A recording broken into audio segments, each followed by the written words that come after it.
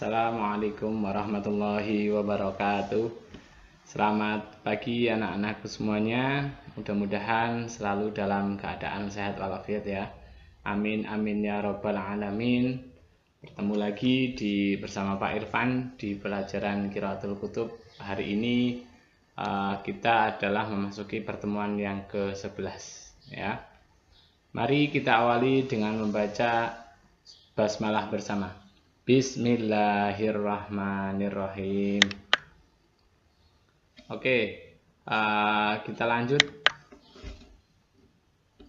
Untuk tujuan pembelajaran uh, kali ini ya, setelah peserta didik menyaksikan video ini, yang pertama diharapkan adalah peserta didik dapat memahami kaidah jumlah, jumlah fi'liyah dengan benar Kemudian memahami contoh jumlah fi'liyah yang terdiri dari fi'il, fa'il, dan maf'ul dengan benar.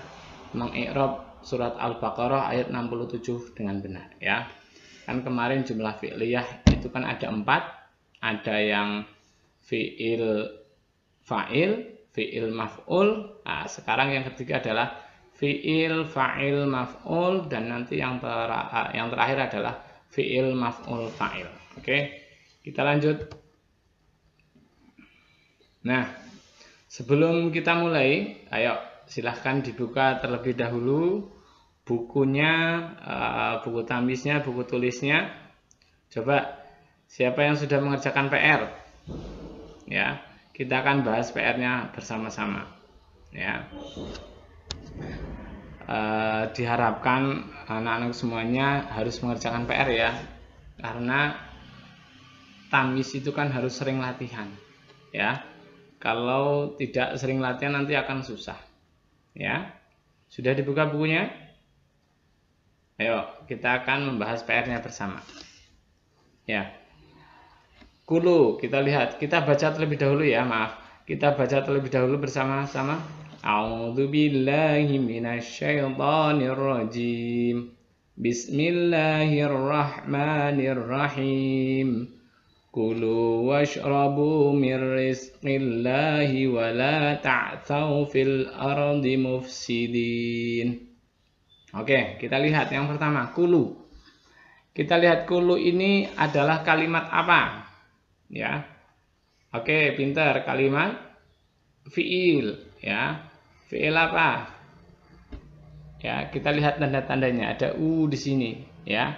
Ini adalah kalimat fi'il amar. Ingat kalau setiap kalian menemukan kalimat fi'il berarti itu adalah jumlah fi'liyah. Ya.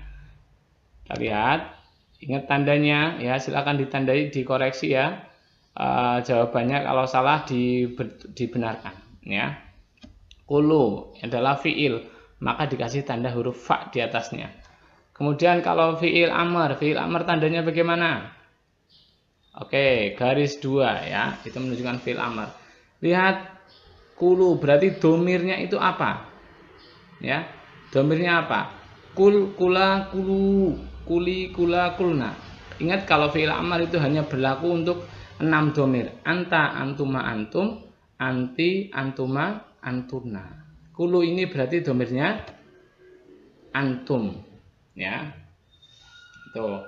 Berarti kalau kita irob kulu jumlah fi'liyah fi'il amr domirnya antum. Maka sesudahnya pasti maf'ul. Ya, seperti itu biasanya. Tapi kita lihat di depannya oh, ternyata di depannya ada huruf wawu. Wawu, wawu itu apa? Wawu itu adalah hu huruf. Maka kita uh, kasih tanda dengan lingkaran huruf. Saudaranya siapa wawu itu? Saudaranya uh, al-atfu ya al-atfu. Berarti uh, waw al-atfu maktufnya kulu ya. Kasih tanda huruf ain ya. Ini sebagai tanda uh, al-atfu bahwa wawu ini adalah huruf al-atfu kemudian ini aslinya adalah isrobu ya. Nah, ini adalah hamzah wasol. Isrobu, isrobu kalimat apa? Ya, lihat ciri-cirinya. Ada bu belakang, wow belakang. uh, lalu lilana lalu lilana lu ya ini adalah fiil amr juga karena ini adalah uh, atof atof kepada kulu maktufnya ini. Ya. Berarti kasih tanda huruf fa di atasnya. Fiil amr tandanya ada berapa? Garisnya ada du, dua ya.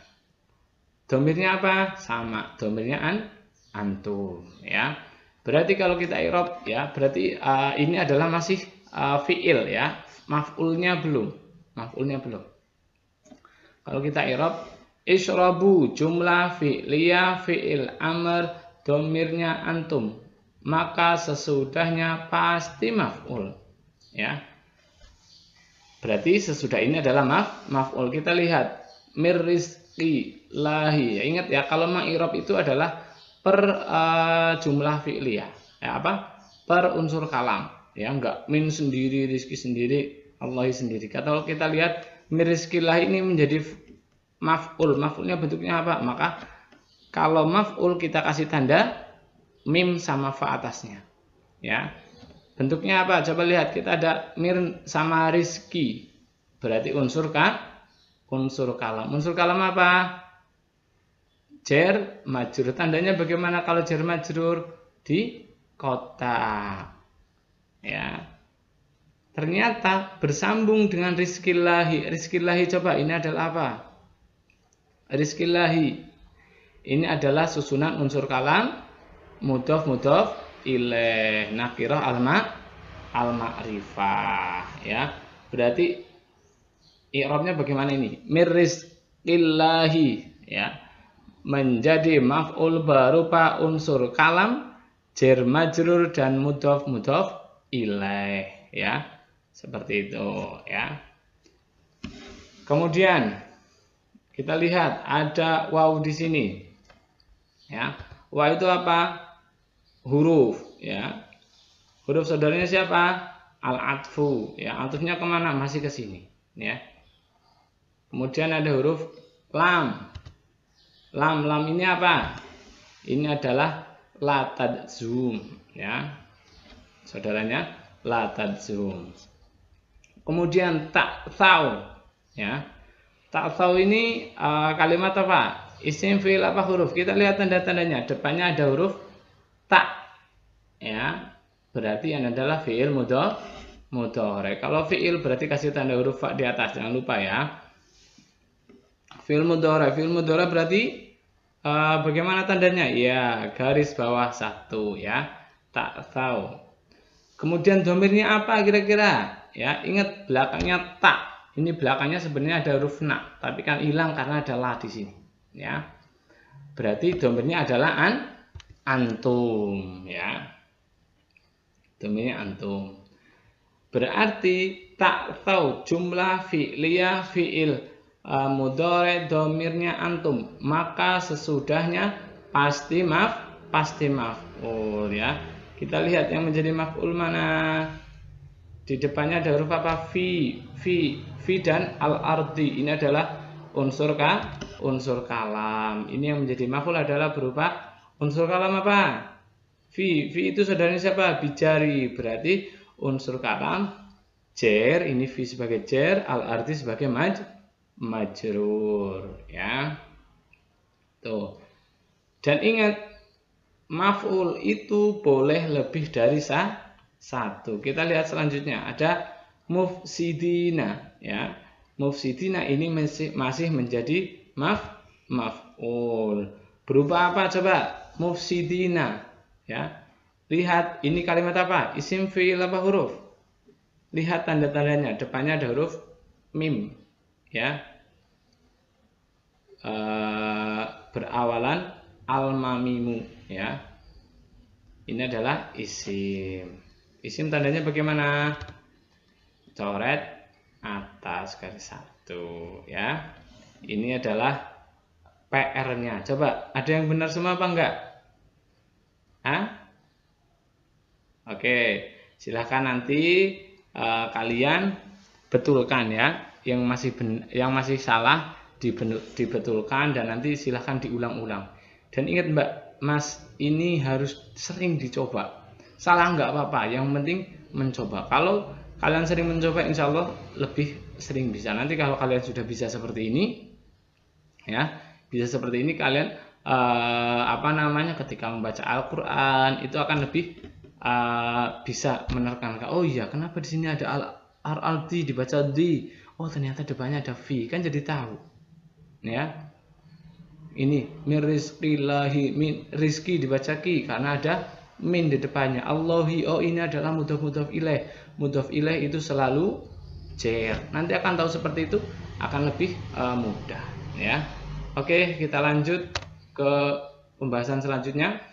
Ya setelah kemarin kita membahas uh, sama Bu Farha ada fiil fa'il fiil maf'ul. Sekarang kita akan mencari praktek mencari fiil fa'il dan maf'ul ya fiilnya mana fa'ilnya mana dan maf'ulnya mana. Silahkan uh, kalian buka buku tamisnya atau Al-Qur'annya boleh di Quran surat Al-Baqarah ayat 67 ya. Quran surat Al-Baqarah ayat 67 sudah dibuka semuanya? Oke, kita baca terlebih dahulu ya bersama-sama ya. A'udzu billahi rajim. Bismillahirrahmanirrahim. Wa id qala Musa liqaumihi innallaha ya'murukum an tadbahu baqarah an tadbahu baqaratan qalu atattahiduna huzwa ya sampai di sini dulu ya. Oke kita akan membahas kita akan menandai mana fiil fa'il dan maf'ul dan kita akan belajar mengikrab bersama kita lihat yang pertama ada huruf waw ya waw kalau di depan yang pertama berarti adalah tanda baca ya Wow. Kemudian id. Id ini isim fiil apa huruf? Ya, id adalah hu, huruf. Kalau kemarin uh, disampaikan Bu Farha, huruf id ini masuk saudaranya adalah ash asyarti ya. Tapi uh, belum kita pelajari, makanya uh, biarkan terlebih dahulu. Boleh kasih kali kasih tanda huruf shin di atasnya boleh, tapi uh, biarkan seperti ini dulu. Id adalah huruf, kasih tanda lingkaran seperti itu. Kemudian kola, kita lihat. Kola ini kalimat apa? Isim fi'il apa huruf? Kola, kola, kolu. Ya, ini adalah kalimat fi, fi'il. Ya, aslinya koala. Ya, itu nanti pelajaran yang lebih uh, jauh lagi ketika kalian di jenjang selanjutnya. Kola adalah fi, fi'il. Ya, Fi'il apa? Fi'il ma mati. Maka tandanya bagaimana? Fi'il mati adalah coret tiga di bawah atau garis tiga di di bawah. Domirnya apa? Hu, huwa, kola, kola, kolu, kolat, kolata, kul, uh, kulna, kulta, kultuma, kultum, kulti, kultuma, kultumna, kultu, kul, kulna. Ya. Oke. Okay. Uh, ingat kalau ada fiil yang berdomir huwa ataupun hiya hati-hati ya. Dalam uh, mengi'rabnya rumus atau komentar dalam tamisnya itu berbeda ya. Berarti komentarnya begini ya, perhatikan.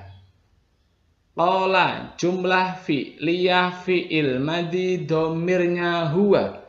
Maka sesudahnya a, maaf Kala jumlah fi'liya fi'il madi domirnya huwa Maka sesudahnya menjadi fa'il apabila mudakkar Jika tidak pasti maf'ul ya Berarti ingat kalau, kalau, kalau ada fi'il yang domirnya huwa atau hiya ya Lihat setelah uh, kalimat fi'il itu Kala ini adalah domirnya huwa Berarti kalau sesudah kola ini adalah mudakar, maka itu menjadi fa fa'il. Kalau di sini domirnya hiya, berarti kalau sesudahnya domirnya mu'anas, itu adalah fa'il. Kita lihat kola. Setelahnya adalah Musa. Musa ini mudakar apa mu'anas? Mudak, mudakar. Berarti menjadi apa? Menjadi fa'il. ya. Berupa apa? Berupa isim nama. Berarti robna bagaimana? Kemarin diajarkan Bu Farha. Musa menjadi fa'il karena mudzakkar ya. Fi'il fa'il. Ingat setiap fi'il pasti ada fa'il, pasti ada fa'ilnya. Ya. Kemudian maf'ulnya mana? Kita lihat setelahnya li qaumihi. Ini kalau dipisah-pisah itu ada li qaumi dan hi ya. Ini yang menjadi maf maf'ul ya. Li qaumi dan hi. Nah, ini yang menjadi maf maf'ul. Bagaimana? Li ya berarti li sendiri, kaumi sendiri, hi sendiri. Berarti ini adalah unsur unsur kalam. Li kaumi, li ini huruf saudaranya bijari, ya. Berarti dengan kaumi adalah jer jer majrur. Kaumi sama hi, kaumi adalah isim, isim nakiroh. Isim nakiroh kemudian uh, ada hi setelahnya adalah domir. Berarti ini adalah unsur kalam mudhof mudhof ilaih nakirah do domir. Berarti irobnya bagaimana? Liqaumihi menjadi maf'ul berupa unsur kalam jer majrur dan mudhof mudhof ilaih nakirah domir. Ya, seperti itu. Nanti silakan ya dicatat, dipelajari sendiri. Nah, kemudian inna. Inna adalah hu, huruf Saudaranya siapa? Inna nasoba rofang. Kalau ketemu inna, setelahnya adalah setelah inna nasoba, setelah itu rofang. Kalau dalam bahasa uh, pesantren biasanya inna itu amalnya adalah uh, tansibul isma watar faul khobar ya inna kemudian Allah adalah i isim ya. Kenapa dibaca Allah? Karena di sini adalah ada inna. Ya. Maka di sini ha. Karena ini adalah inna nasoba. Setelah ini adalah nasoba, ya. Berarti maka di sini Allah. Kemudian ya murukum. Ya, ya muru. Kenapa ini ru? Karena ini adalah uh, rofa karena ada inna. Setelah nasab kemudian rofa. Ya muru apa? Kalimat apa? Kalimat fi fiil. Fiil apa? Fiil. Ini ada ya di depannya berarti fiil uh, mudo mudore ya. Berarti ya muru jumlah fi'liya fi'il mudore. Domirnya apa? Ya muru ya muroni ya muruna. Domirnya adalah hu huwa. Ya. Tuh, domirnya huwa. Kemudian uh, kum, kum di sini apa? Isim fil apa huruf? Ini adalah i isim. Apa? Maaf, huruf ya saudaranya domir. Tapi ini kedudukannya sebagai apa? Ya, ya muru. Ini failnya mana? Failnya adalah Allah. Ya, Oke, kum ini menjadi ma ini menjadi maf maf'ul. Berupa apa? Berupa uh, huruf saudaranya saudaranya do domir. Berarti bagaimana i'rabnya? Ya muru jumlah fi'liyah fi'il mudhari domirnya huwa. Kemudian kum menjadi maf'ul berupa domir ya. Kemudian an Nah, kalau di Eropa ya tanda baca begitu biasanya ya. An ini saudaranya siapa? Ai ayang siba ya biasanya begitu. An tanda baca gitu aja. Kemudian tasbahu ya. Tasbahu ini adalah kalimat fi fiil. Domirnya apa? Domirnya an, lihat depannya adalah tak. Ini aslinya tasbahuna ya nanya hilang karena ada an di sini itu pelajaran yang uh, akan datang sajalah lihat antas bahu ya. Fiil mudore karena ada ta di sini ya. Fiil mudore domirnya apa? Domirnya antum. Berarti apa? Bagaimana?